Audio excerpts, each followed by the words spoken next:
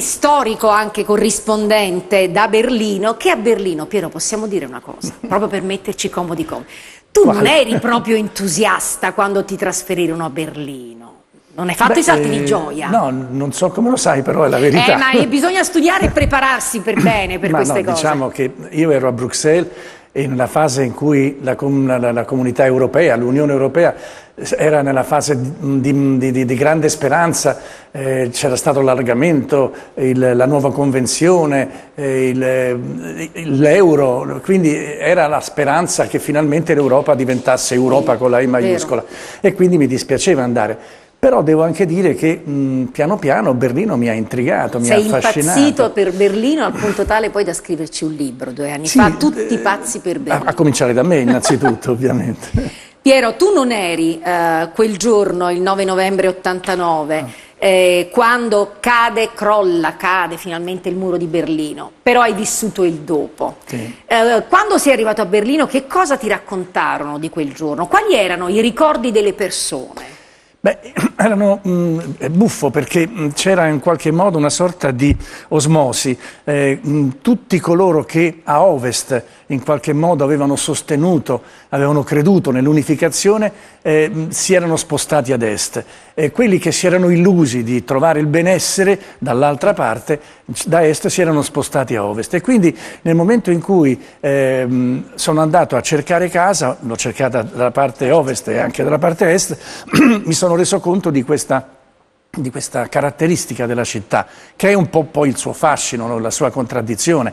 Eh, nei- diciamo, ne- nella zona che è subito dietro la porta di Brandeburgo, nella zona est, dopo Unter den Linden, questo meraviglioso viale dei Tigli, eh, dietro il Duomo c'è tutta la, la parte est che oggi è in mano ai giovani, eh, non c'è niente da fare.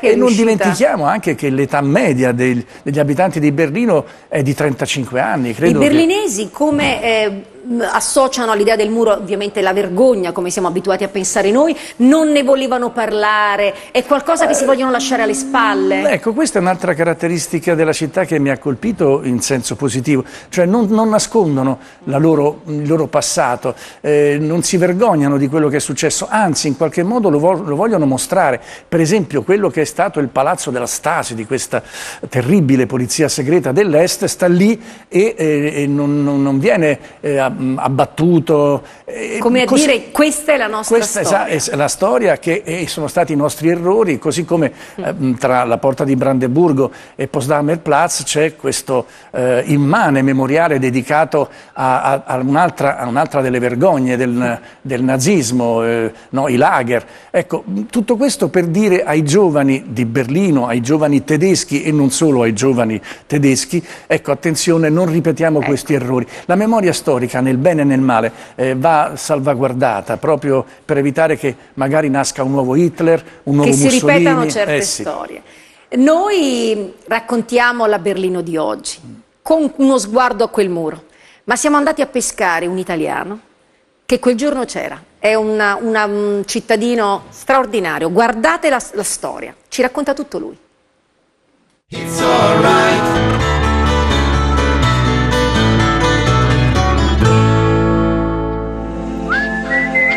25 anni fa, forse più o meno quest'ora, mi trovavo a casa di amici a Berlino, quando a loro arrivò una telefonata che li informava su quello che stava succedendo al muro. E ho preso la macchina fotografica e sono andato subito a Checkpoint Charlie dove mi sono imbattuto nella- in quella marea di gente. C'era innanzitutto la gioia di quelli dell'est che, che venivano a ovest ma c'era anche, anche della tristezza, c'erano dei pianti perché c'era gente che aveva dei cartelli in mano con su scritto un nome e probabilmente cercava dei familiari o dei cari che erano rimasti a est.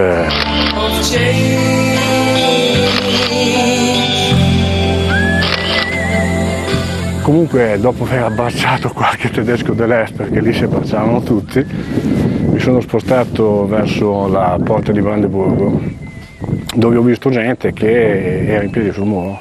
C'era una scala, una scala appoggiata al muro dove scendeva la gente che, ha- che aveva fatto la passeggiatina sopra.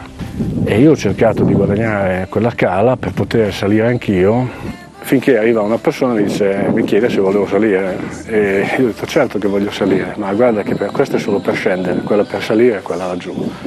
Per cui in una cosa che emotivamente non poteva coinvolgerli più di quell'evento, neanche la, la, la vittoria ai mondiali di calcio, i tedeschi si erano organizzati e filava tutto liscio.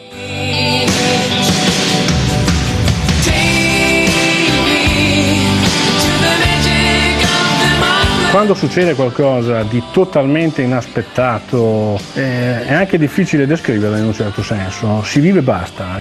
Ecco, in questa scatola ci sono un po' di, di aperti. Primo fra tutti, pezzo di muro che ho preso approfittando della picconata che qualcuno aveva dato. Questi sono i militari di frontiera che fino a pochi giorni prima sparavano e ti si avvicinava. Questi da diciamo, padroni di una situazione sono quasi... Eh, non sanno cosa fare, calciano nei sassi.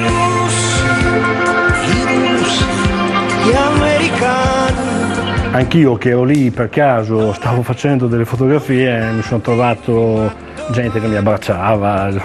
E se una femmina si chiamerà Futura. Di, di lì a pochi giorni sono passi dei chioschi a Berlino che vendevano delle magliette con su scritto Ich war dabei, io c'ero. Io la maglietta non l'ho comprata ma c'ero comunque, quindi... It's alright.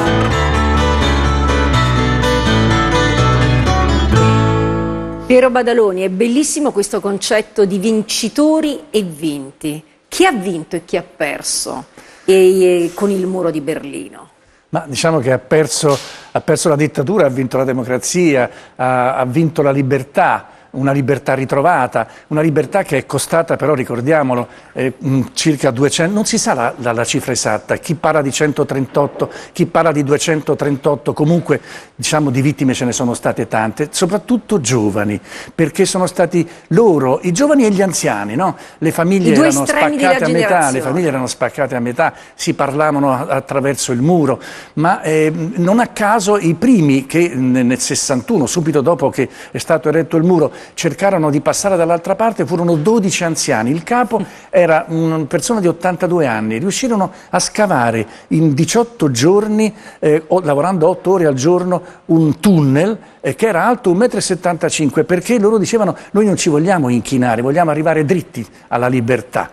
E eh, sono stati soprattutto i tunnel, la strada attraverso qua, la quale i 5.000 e passa tedeschi dell'est che sono andati dall'altra parte prima che il muro crollasse, sono stati soprattutto i tunnel a consentire questo percorso. Però si sono inventati di tutto i tedeschi dell'est per passare dall'altra parte, persino le mucche di Troia. E cioè, voi ricordate il cavallo di Troia, no? Ecco, e beh, le mucche di Troia erano de, de, de, delle mucche di cartapesta studiate per delle mostre itineranti eh, che dovevano andare dall'una e dall'altra parte. E nel ventre di queste mucche? E nel ventre delle mucche c'entravano solo due persone e tre coppie coppie sono riuscite a passare dall'altra parte. Purtroppo al quarto viaggio le guardie si sono, i Vopos se ne sono accorti e, a una è andata e, hanno, male. e una ragazza che cercava di raggiungere il proprio fidanzato è andata è male. È andata davvero male. Questa è la Berlino di allora. Andiamo per un momento alla Berlino di, alla Berlino di oggi e abbiamo scelto proprio anche eh, così, forti della tua suggestione, una città di giovani, un giovanissimo eh, collega che è il direttore di questo magazine che si chiama Berlino, Cacio e Pepe. È bellissimo, già la scelta eh, che vi fa capire l'origine italiana. Naturalmente Andrea D'Addio, 32 anni, a Berlino dal 2009. Collega, buongiorno. Buongiorno. Andrea, che cosa si sta, come si sta preparando Berlino a questo, a questo giubileo? Allora, oggi inizieranno le, le celebrazioni di fatto sarà allestita una grande linea di palloncini ad elio lungo 15 km di quello che tempo era il confine tra Berlino Est e Berlino Ovest.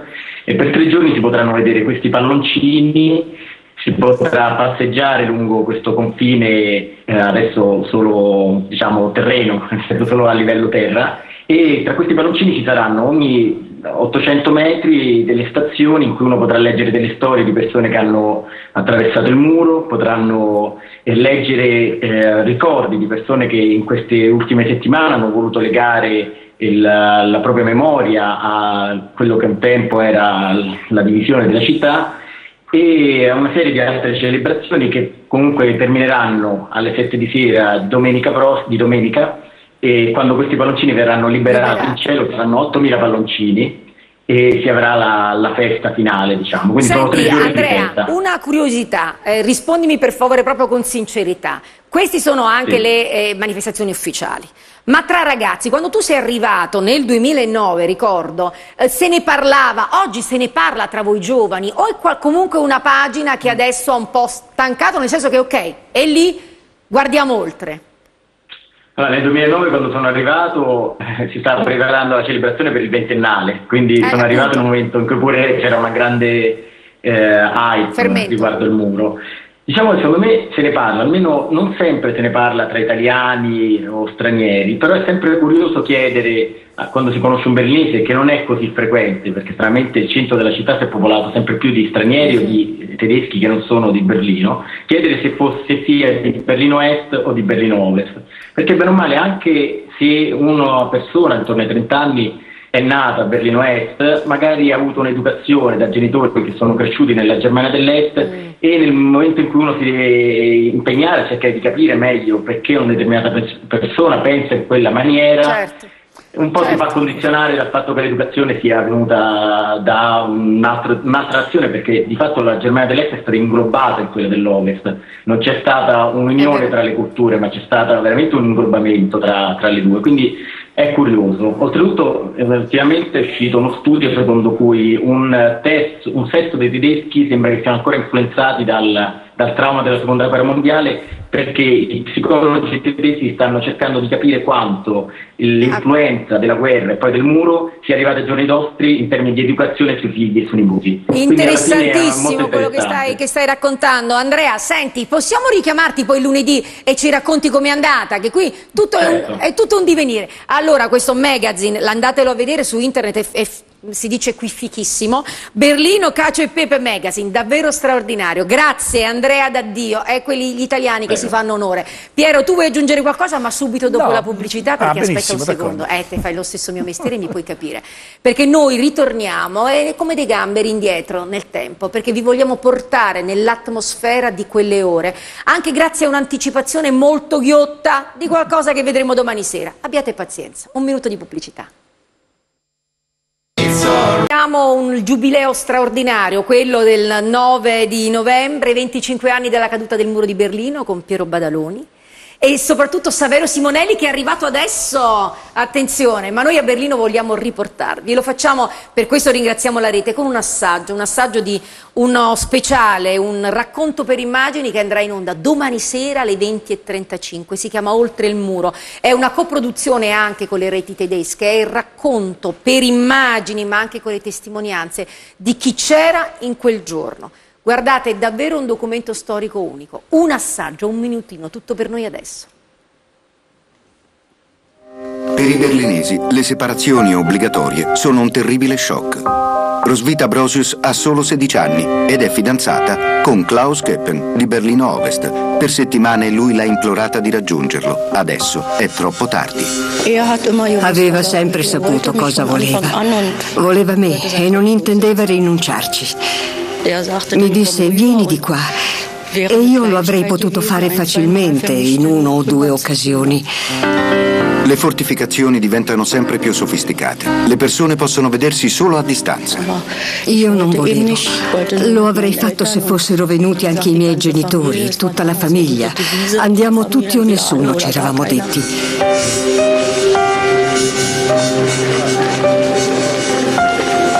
Era deprimente, ma nessuno sapeva come sarebbero andate le cose e che il muro sarebbe diventato così mastodontico.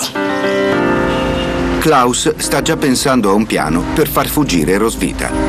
Sta aspettando il momento giusto, ma non sarà facile. Scopriremo tutti se Rosvita ce l'ha fatta o meno domani sera alle 20.35. Questo concetto di separazione, che è la prima grande ferita di questo muro, ritorna anche nelle parole, nelle letture di Vito De Torre stamattina. La stampa dice in fondo le due anime sono rimaste così ancora, c'è una separazione economica. Tu condividi questa- questo aspetto? Beh, è un'analisi che fanno gli economisti ed è un'analisi che poi si vede arrivando lì. Le due parti ancora hanno un gap, cioè come si dice adesso, c'è una differenza differenza di livello economico ancora evidente, nonostante eh, il, cancelliere Helmut Kohl avesse per primo riversato un mare di marchi dall'altra parte per cercare di ridurre questo gap.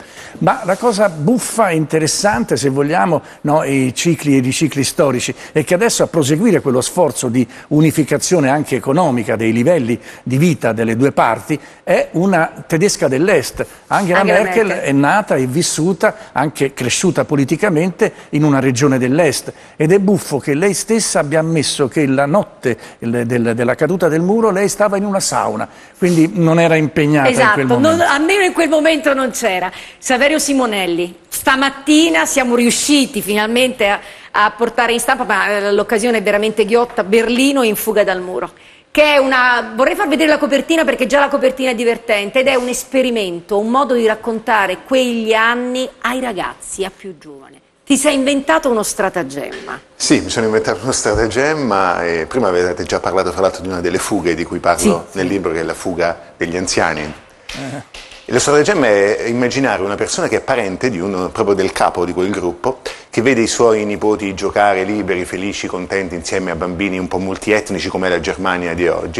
A un certo punto mentre giocano a pallone eh, il pallone finisce al di là del muretto di recinzione del, del giardino in cui giocano e allora uno dei bambini fa, ah ma ci vorrebbe quel parente di tuo nonno. E un altro fa, ma perché chi ha fatto il parente di tuo nonno? È quello che è passato al di là del muro. E da lì, e da lì il nonno comincia a raccontare ai ragazzi le storie di chi ce l'ha fatta. E quante ho... storie, Saverio, tu riesci a raccontare? Sono una decina più o meno. E sono storie di persone dietro le quali c'è una grossa sofferenza. Cioè il traguardo viene raggiunto con lavoro, con passione, ma anche con lavoro, con, con passione altissimo. e con grande immaginazione, perché lo accennava prima Piero, sono degli stratagemmi strepitosi, fantastici. Facci sognare, stamattina abbiamo parlato, che, siamo, abbiamo parlato, abbiamo aperto con un popolo di italiani che non è più capace di sognare, pessimista, ma noi attraverso queste storie il sogno lo possiamo riprendere. Beh, io ti parlo di Harry Detterling, che era un macchinista, portava il treno, a un certo punto lui era un po' una testa calda, no? non gli andavano bene tutte queste, queste, imposizioni da parte del regime, era un po' un sobillatore e disse vabbè tu adesso andrai in un campo di rieducazione, lo chiamavano. Lui aveva quattro figli, era un macchinista, conosceva bene tutti gli scambi e la situazione un po' lì di, di, tra Berlino Est e Berlino Ovest. Cosa fa quest'uomo? Si studia bene tutti i percorsi, confisca un treno con otto vagoni e con questo treno, invece di fermarsi alla stazione dove poi doveva il convoglio tornare indietro perché sennò si sarebbe passati all'ovest, lui a tutta Continua. velocità sfonda la recinzione con tutto il treno dietro. Tutte queste storie raccontate in maniera così delicata, se mi permettete. Ecco, lo stiamo anche, vedendo. Esatto, l'abbiamo alle nostre spalle, esatto, noi siamo amanti delle foto, tra l'altro. In Berlino fuga dal muro, oggi proprio nelle librerie. Apriamo una parentesi. Piero, a noi piace l'aria aperta e quindi le, le nostre finestre devono essere sempre spalancate. Le spalanchiamo, Vito, per tornare a Roma, se non mi sbaglio? Per eh. tornare a Roma, no, ma vorrei tornare un attimo a Torino, la stampa a di Torino. Torino ancora a Torino, questa stampa? Perché eh, l'89 è stato un anno di grandissimi cambiamenti, ma quegli anni, eh, diciamo, noi assistevamo a un birillo dopo l'altro che cadeva, un, un, impero, un blocco, quello sovietico, che si sgretolava, Ceausescu, eh, tutte le repubbliche sovietiche, crolla l'Unione Sovietica, era qualcosa di incredibile, anche nel nostro paese, in Italia c'è la famosa svolta della Bolognina, 12 novembre dell'89, a Chillocchetti Picchetto annuncia che il Partito Comunista Italiano non si chiamerà più così ma sarà Partito Democratico della Sinistra.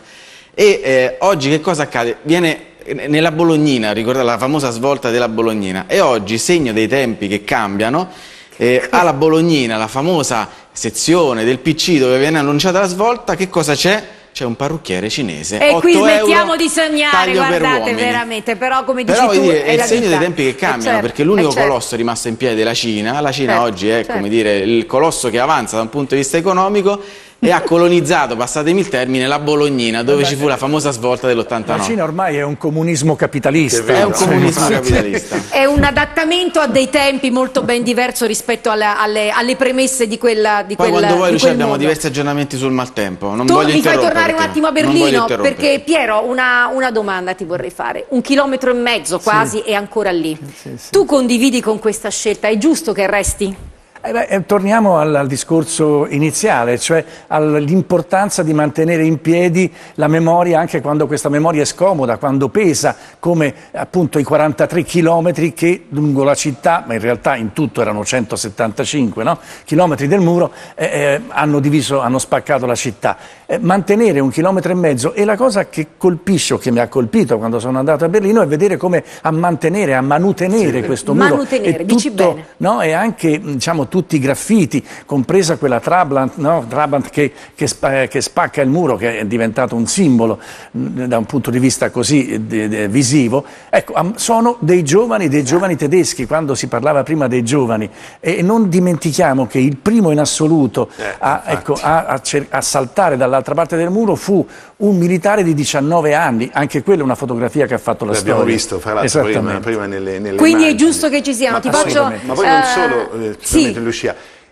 la zona più cruciale del muro, che era la Potsdamer Platz, perché era la terra di nessuno, devastata, fossati, cavalli di Frisia, le diavolerie più incredibili per avvisare il minimo movimento, adesso è la zona dove gli architetti di tutto il mondo hanno creato esatto. dei palazzi si sono sbizzarriti, proprio come se fosse voler proprio dar via è dar una vita che ritorna dal niente, è una vita che anzi germoglia proprio lì. Vogliamo andare un momento a Berlino, eh, eh, Enrico, perché te sei grande, ci hai trovato anche questo. No, una bellissima webcam, o meglio, che ci restituisce un'immagine in tempo reale di quello che si vede 25 anni dopo la porta di Brandeburgo. Io Ecco. leggo, non, Ecco che non sono un eh, cultore della lingua tedesca, però Thor unter den Linden, quello che ci diceva appunto Corretto. prima eh, Piero Badaloni, temperatura di 5 gradi, abbastanza fresco, cielo sereno. Quindi. Ecco la Berlino che si prepara a festeggiare, a celebrare questo, questo giubileo. dove hanno Saverio. festeggiato il campionato del mondo Ecco perché mese il fa. calciofilo che in te Saverio non perché voi dovete sapere che abbiamo delle dispute calcistiche, caro Piero, soprattutto quando potete immaginare Lo a gioca me che- Italia-Germania, potete Lo dici a immaginare. me che sono un romanista, quindi Ecco, ecco, Anch'io, Piero, ah, anch'io. Ecco, io sono napoletana, Piero, ti ho detto Vabbè. tutto. Ci ho Ai, detto, ai. Saverio.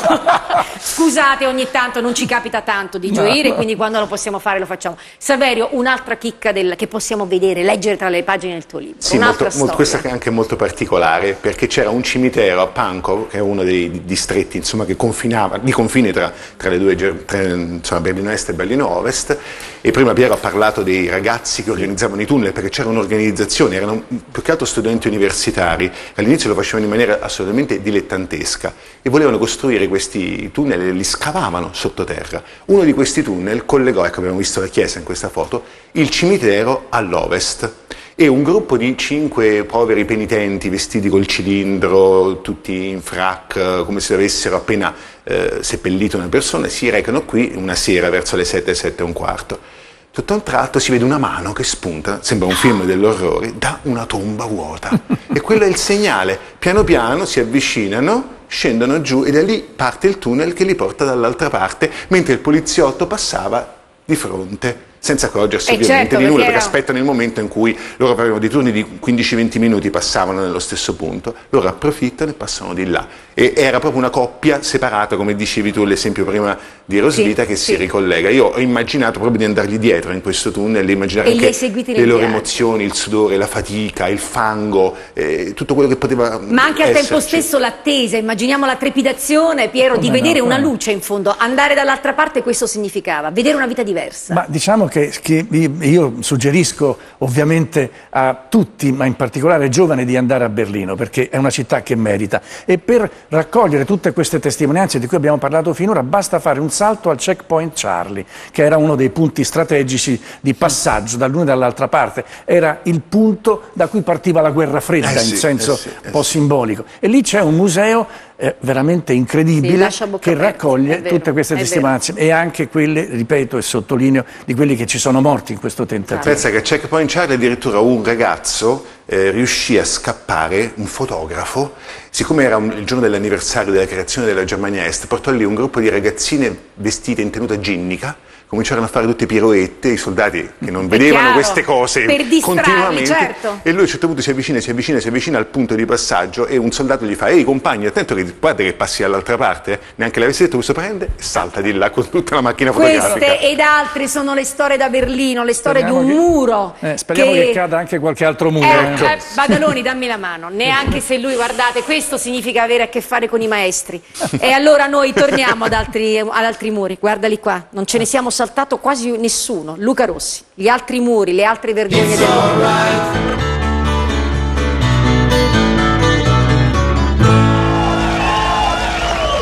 Sono alti, spessi, fortificati, controllati a vista. I muri nel mondo, a 25 anni dalla caduta di quello di Berlino, ancora dividono, spesso uccidono. C'è quello contestatissimo e dichiarato irregolare dall'ONU, che divide dal 2002 lo Stato di Israele dai territori palestinesi. È fatto di acciaio recuperato dagli scarti di automezzi militari, quello degli Stati Uniti d'America che corre lungo una parte del confine con il Messico, per scoraggiare l'immigrazione clandestina. Il più vecchio è quello che dal 1953 divide due mondi opposti, la Corea del Sud ricca e capitalista, dalla Corea del Nord, in pieno regime, con la popolazione allo stremo. Anche l'India, paese economicamente in ascesa, continua a costruire muri, 3.000 km per difendere la caldissima zona del Kashmir e altri 4.000 per impedire che dal Bangladesh entrino terroristi islamici. Nel vecchio continente non è bastata la storia delle due Germanie. Sono 99 i muri che a Belfast, capitale dell'Irlanda del Nord, separano le comunità cattoliche da quelle protestanti. Non da meno è il muro spagnolo nell'enclave di Ceuta e Melilla in Marocco, confine tra Europa e Nord Africa. Muri irrazionali in un mondo dove si può raggiungere l'altra parte del pianeta in meno di 20 ore con un semplice volo di linea. Paradossali in una società che vuole favorire il libero scambio di merci e di idee. Muri che lasciano intravedere crepe in attesa che i governi si decidano a trovare vere soluzioni prima che un altro piccone li butti giù.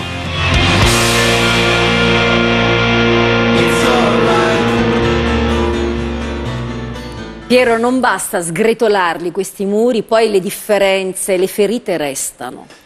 E adesso diciamo che se nell'olocausto sono stati gli ebrei le vittime di questa, no, di questa follia, adesso rischiano di essere cristiani nel mondo, mm, in Africa, in Asia, eh, c'è questo eh, terribile ehm, accanimento, questo terribile accanimento eh, proprio per parlare dell'attualità estrema, quella di oggi, de, de, de, di questi pazzi terroristi dell'ISIS, no? di questo califfato che non esiste se non nella mente del loro capo, di questo al-Baghdadi. No? E quali sono le vittime? Sono i cristiani, eh, costretti a scappare per salvare se stessi. Io credo che eh, insomma, forse sarebbe il caso di dare un po' retta a quello che dice Papa Francesco. No? Cerchiamo di eh, sgretolare quest- questi muri e di convivere, perché si può convivere in pace. E noi abbiamo ancora negli occhi le immagini delle mani di Papa Francesco quando nella sua visita in Medio Oriente era il 25 maggio appoggia proprio quasi a voler sorreggere o forse a voler buttare giù quella vergogna, quella vergogna che separa ancora, che ecco qua, guardate questa immagine, è un'immagine che ha fatto il giro del mondo,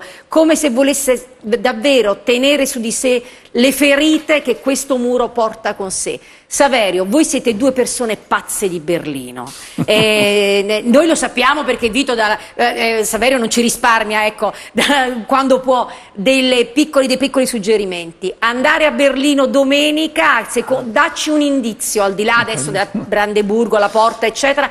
Qual è un posticino dove non possiamo mancare? Immaginiamo di partire tutti quanti stasera. Beh, è banale, però poi c'è anche una canzone celebre che ce lo ricorda. Io andrei ad Alexanderplatz. Bisogna farlo. Io andrei lì. Bisogna farlo. La lezione del muro, Piero Badaloni. Aspetta, prima suggerisco anch'io un posticino Eh, alla Kartoffelhaus. ecco, No? Kartoffelhaus già vi fa capire che noi dobbiamo sempre 700 pensare. piatti tutti quanti solo a base di patate, compresi i dolci. Vi allora c'è anche la Berliner Republik. eh, Signori, sul qui fiume. gara, questa è la guida Michelin. Piero, sì. la lezione del muro. La 25 lezione- anni dopo. La lezione del muro è appunto quella di imparare a... eh, cioè, illu- eh, cioè è un'illusione quella di riuscire a bloccare no, la libertà, è un'illusione e lo ha dimostrato questa storia. Eh, speriamo che, che anche gli altri capiscano che è un'illusione continuare a alzare altri muri.